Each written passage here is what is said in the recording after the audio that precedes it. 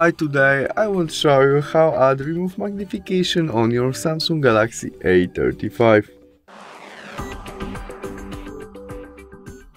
Our first step to do that is swipe up the screen and go to the settings, where we look for our accessibility option and there we tap on our vision.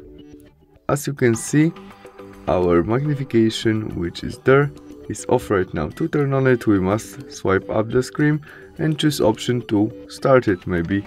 Tap accessibility button and confirm by OK. And now we have accessibility button, we press on it and we have our magnification on.